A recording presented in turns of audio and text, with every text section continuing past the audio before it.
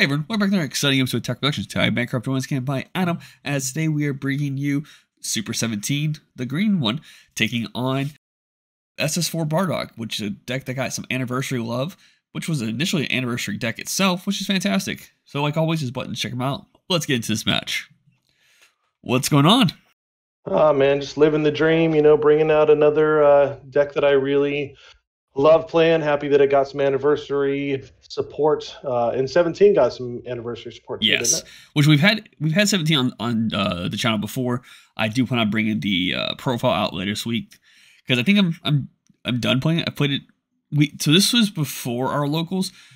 Oh, we had some time to kill. I didn't know if we were gonna get. Um, I didn't know what was happening. Truth be told, a lot of people weren't showing up, so we went ahead and recorded a couple games while we're waiting for people. And I was like, I've played Super 17 for the last two weeks. I haven't had time to build anything. I don't want to play it. I'm gonna play a deck that Fluff had built and just go with it. Go with that. So we decided to get a match in because you weren't actually gonna play this deck initially either. So it just kind of worked out. Yeah, yeah, and I it, the the Bardock deck is is quite interesting. I think that the support for the deck is really great, but you have to decide to either go full into that support or play it the classic way, which is utilizing your uh, your energy area and those effects from those cards. Uh, it felt a little bit clunky for me because I, I I only have like I think it's like seven cards from the new anniversary stuff. So I, I think I have to kind of decide if I want to go full into the anniversary, which is fantastic, or if I just want to continue playing the classic. I will say throughout this match, we do see a couple of those cards do make some play, which this deck has mm-hmm. lot, the ability early on to do some searching, which is great. Yeah, absolutely. Here, I just wanted to make sure to show people I know how this card works. I think in past videos I messed up on it, but it uh activate main, you put the rest mode, you draw one card, search your deck for um the pretty much the 18 or so to put underneath your leader. Which this card is fantastic for the support. It allows you to do crazy good things like on the road, which I've always had issues with, and which is why I always play the yellow promo. Uh, I think it's I think it's Hell Fighter 17. It might be Regular 17. I can't remember, but it puts itself underneath a Super 17 uh, from your drop area because the leader just wants to just eat cards up so quickly that like if you're not seeing the cards you need, you lose out on the support. This card allows you to steal your opponent's cards. Yeah, and it's um. Speaking of searching, you, you, yeah, you have a lot of uh, you have a lot of effects that you get rid of cards from underneath your 17s, and they have effects and things like that. But yeah, I did get to find my SS4 Vermilion Saiyans off of my searcher, so that's always a good thing. Yeah, when when when they dropped the anniversary stuff, I'm not sure if we talked about it on the channel or not, but when they dropped the anniversary stuff for Bardock, I was like, oh yeah, crap. I meant to buy that secret rare. Me went to go check it, and it had jumped up from like I think it was like sixty bucks to like two hundred, and I'm like, ah. Yeah, well, any SDR that you get to use twice uh, a game is is going to be a you know a good choice. But I do see a lot of people playing uh, Great Ape uh, Cumber. I do see people playing uh, Evil Saiyan as well. But um, I just the art on this card is so you know too cool, so I, I had to leave it in. Yeah, and it's one of those things. Now that I know you have it, uh, it ignores barrier, which is so so crazy because the six drop and eight drop of uh, Super 17 engine will gain barrier on their on the turn they're played. So typically they're protected, but like I established this board to do some crazy combo stuff and have some great defensive plays on your turn, and you can go just go tap one, negate, uh, pop it, and I'm like, well, that Kill sucks. it all, yeah. Yep, absolutely. Now I will say I, I got to get a little bit of beef off of my chest here because um, a lot of people are uh, getting onto this Bardock deck, uh, and it feels a little bit like getting onto the bandwagon. For a lot of these uh, these matches that I've been seeing online, but um, you know, it's it was difficult for me to transition to a new play style uh, when I was so used to playing this deck in a specific way. Um, but I love the fact that it's actually doing pretty well, uh, and those that were putting this at you know low tier or local tier or rogue tier are now seeing its uh, value. SS4 has always been a good deck. It's kind of like the AOD, where like any deck that can quickly spam cards out for very cheap is good. Absolutely. Yeah. So this play was interesting, and I I was really curious on your on the mindset here. Um, I know your leader you'll get the reset energy, so you're, you're kind of safe there. But I always felt like that third drop's always a good defensive play. Yeah, it and uh, because I didn't have any other blue cards in my hand, I felt like I needed to get this out so that I could at least get that extra draw, get the restand at the end of turn. Um, worst case scenario, it goes away, and I can hopefully draw into another blue. So here's where this deck likes to shine. Um, this four drop Super 17, pretty much at the beginning of your turn, uh, at the start of your turn, you play one of the cards, you put the other one, your Z energy. So you're set up to go into your six drop for one energy without to pay anything to put on the board. Um, but there's a risk here. That card doesn't have deflect. So there's always the chance that you could counterplay it coming into play.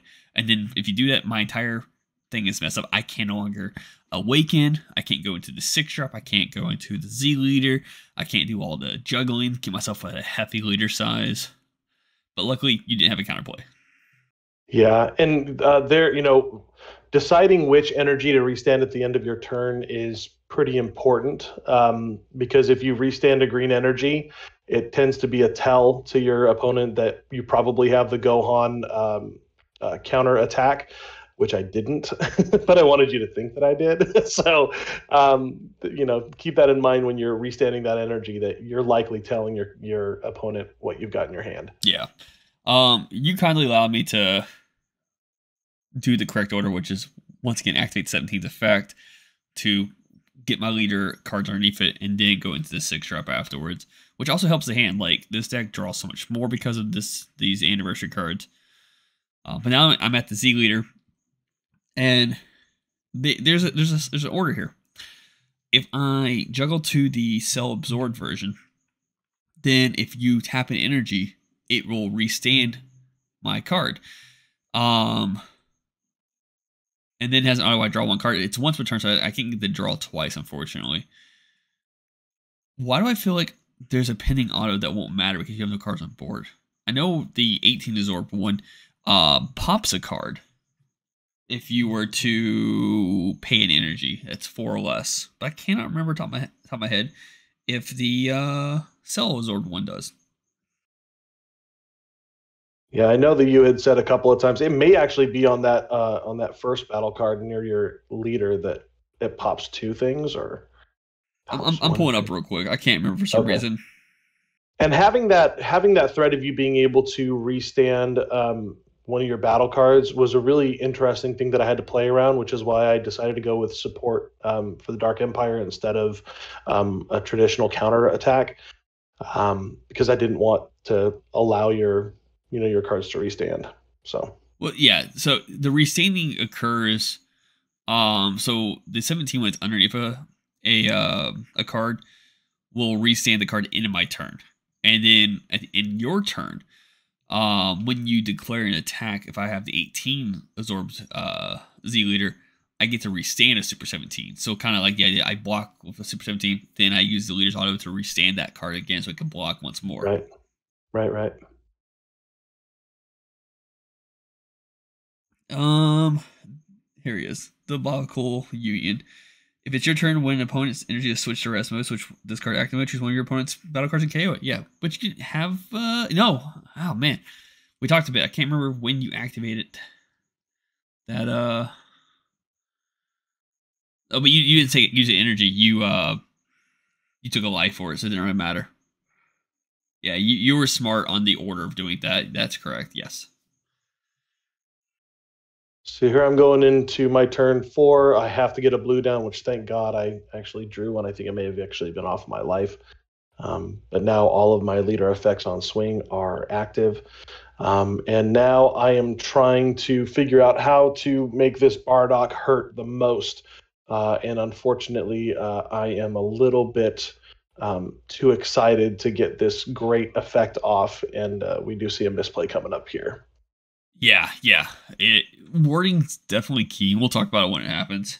We catch it kind of in the action because I go. We'll, we'll, we'll happen when we get into the action, but so it's a nice little 16k. You swing at my one guy, and I'm like, okay, well, my big six drop is 20k. I can block. I can do X, Y, Z. Yeah, I can do this. So I negate with dormant. I think it has bears. So I can't touch it. And then do all the leaders' autos. Um, so your attack's going to here, and you're just reading I think the the card for afterwards, or maybe you just yeah, I know. Well, yeah, I know there's a way to get my Vermilion Saiyans to activate. I'm just trying to figure out what the timing needs to be, and it's activate main. Um, so there's no combos were used in that fight. Correct. Yep. I just wanted to get an extra little attack off. So yeah, you you proc the ability. The problem is that you have four energy, but the card specifies if your opponent has four energy, and and and that's on the activate main of Vermilion Saiyans itself, not on the uh, the battle card. So you get all these plays out, and I'm like, okay, you get this card back again, right? And I go to read it because I want to double check if it had if it ignored barrier or not. And then this is when I see, oh, I'm supposed to be at four energy, not you. Yep. And so I just wipe the egg off my face and say, "Well, I made the play. I'll go ahead and just kind of eat the the misplay, reshuffle my cards in there." Um, and we talked to Jimmy a little bit about this because like it's one of those things like could you have activated the main on the battle card? Yes, but nothing happens. So the, card still goes to the warp. It doesn't get procced because you you don't meet the requirement for its skill. So and then you'll get the card back at the uh, at the end of your turn. Which you'll have one more attack right now.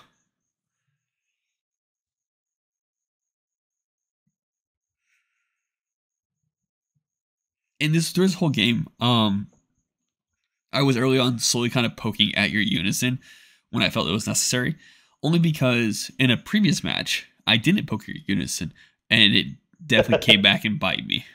Yeah, yeah, it does have that really nice minus two effect. Yep.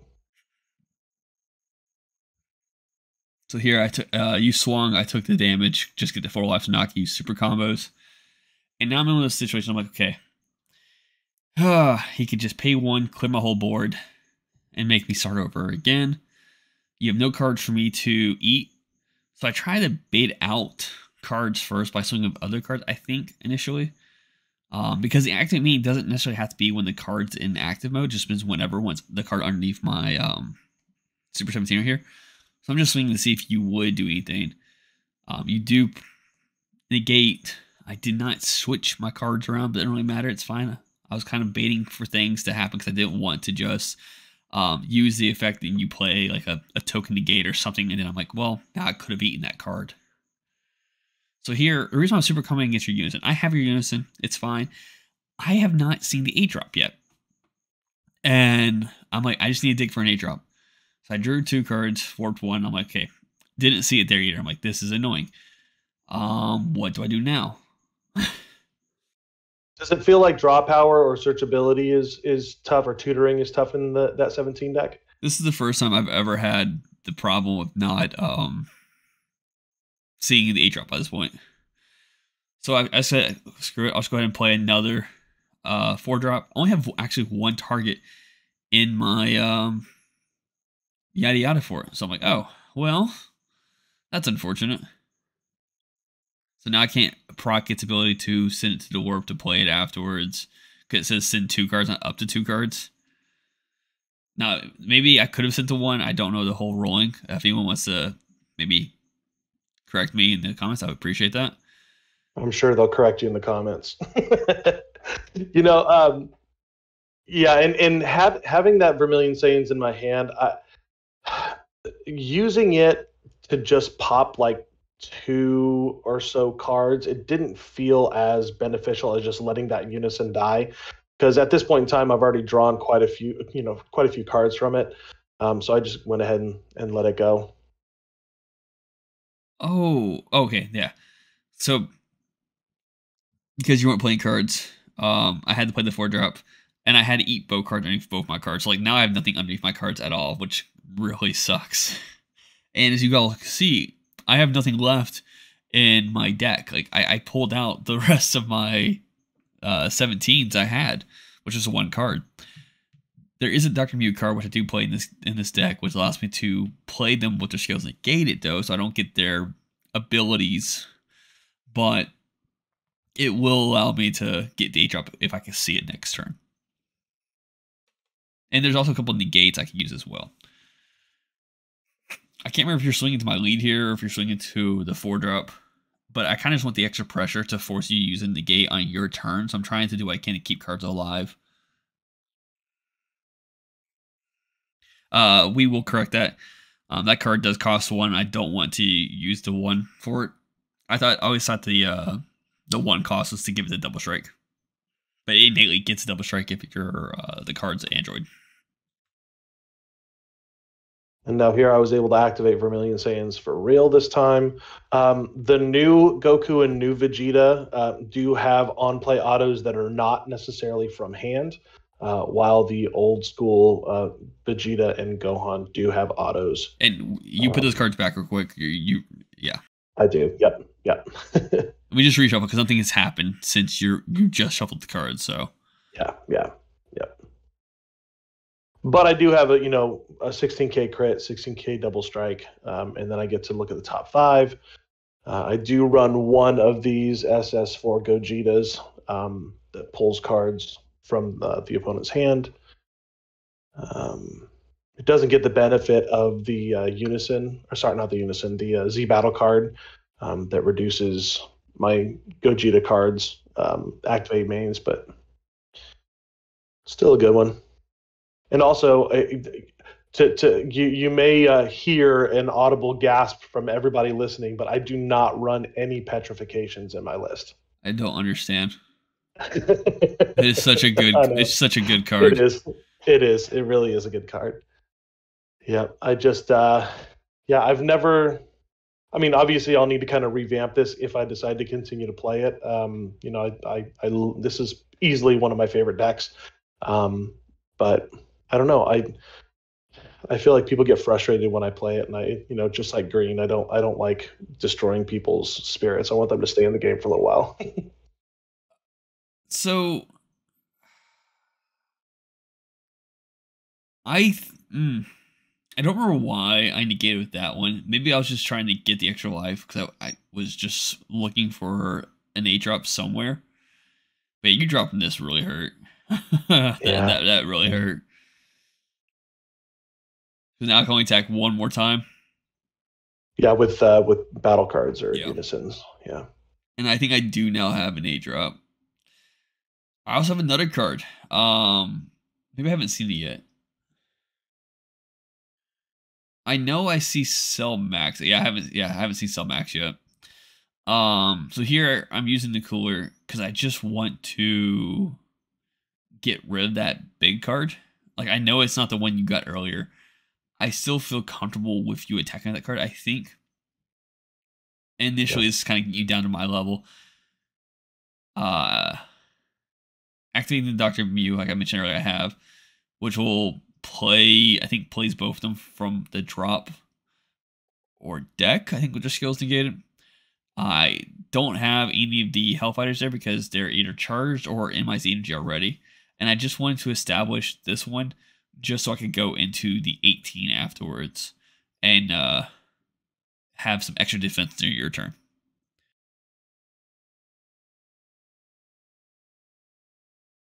Yeah, being at two life is always really scary um, because there are so many cards that are now available that play for very little that have those things like dual attack or double strike. Um, it just it's it's always you know you, you you now are at the edge of your seat when you're in that position. And this right here is just dirty. just playing another one. Um, because it negs 30k, I think. It does. Yep. So I was just like, oh well, that that that yeah, that fixes that problem. I can't do anything about that one now. And because you took out both of my, you didn't choose to go for the the cooler. You went for the super, the super 17s. So now the negate in my hand is completely useless. I have a negate that's free if I have a super 17 on board. Well, I obviously played that exactly the way that I wanted to, and it wasn't absolutely by chance.